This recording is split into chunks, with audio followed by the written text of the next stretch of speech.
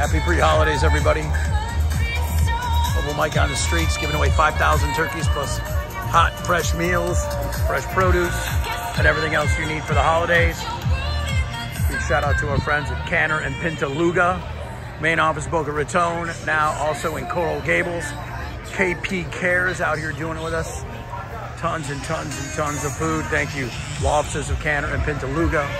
Remember the hashtag KP Cares, Mobile Mike doing it live. Be out here all day today. Again, 5,000 free turkeys, hot meals, Sanctuary Church, Fort Lauderdale. Lots more turkey giveaways coming up tonight, tomorrow, and obviously next week.